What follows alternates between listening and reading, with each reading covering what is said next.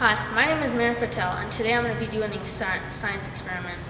I'm going to be testing how a candle burns under different oxygen levels.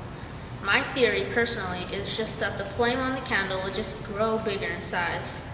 Many other people think that the tank would just basically explode.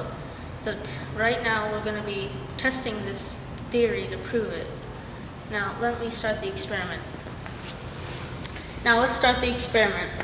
First, before I start this, there, as you can see, there's a candle and a fishbowl. Now, as I turn on the oxygen, the oxygen is going to run through this tube, and it's going to start building up. And once it builds up to the flame, you'll see changes in the flame.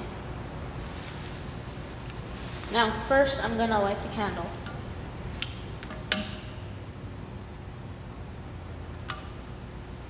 Okay. Now, as you can see, it's just a burning candle. Now, let me turn on the oxygen.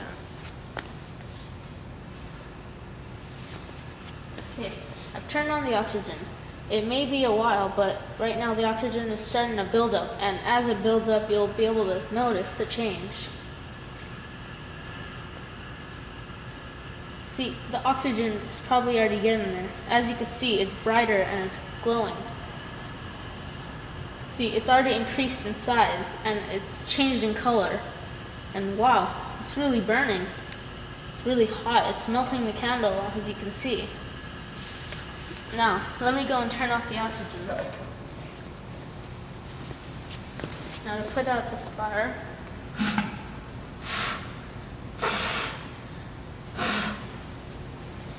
Well, that was pretty hard putting it out because it was really glow. It was really burning as hot as hot as it was. So what have we learned from this experiment? Well, I've disproved two of the theories, that the tank will explode or that the flame would just get bigger. Well, as you saw, neither of those two things just happened. The flame changed in colors and got intensely hot, so hot that the candle started melting away like water, dripping down on a stick. So in conclusion, we know that oxygen just makes fire burn hotter. Thank you for joining me in my experiment.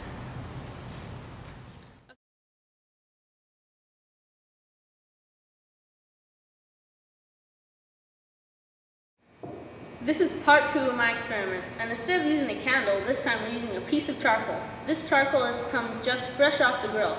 It's hot, but it's just not visible. We put it on an empty soda can so that it will not crack the glass. So as I turn on this oxygen, it will run through the tube and it will start leveling up. Once it hits the charcoal level, we'll be expecting it to get hotter, just like in the previous experiment with the candle. So let's start the experiment. Okay, so first I'm going to turn on the oxygen to 20 liters a minute. It's at 20 liters a minute. And right now the oxygen is leveling up and soon we'll be able to see what happens.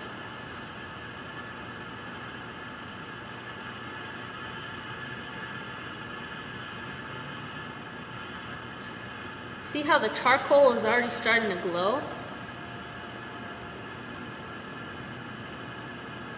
It's really burning. Look, a flame caught on there. That's how hot it's getting. Whoa. Whoa, it's getting really hot. I can like feel it. Okay, let me turn off the oxygen. The oxygen off. Now I'm gonna flush it out with normal air.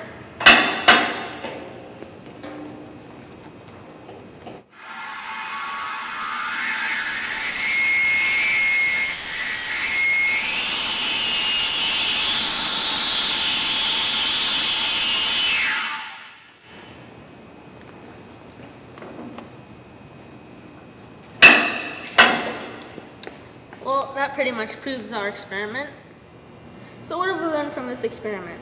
Well, I've learned that under higher oxygen levels, just like the candle experiment, charcoal burns hotter. In the candle experiment, when we raised the oxygen level, it got smaller. The flame didn't even get bigger. It got smaller. It started glowing, and it was really bright. In this experiment, when we raised the oxygen level, the charcoal, it started getting red. You could see the heat of it and sparks were going everywhere. So in conclusion, oxygen doesn't explode, it's not explosive, it just makes things burn hotter. Thank you for joining me in my experiment.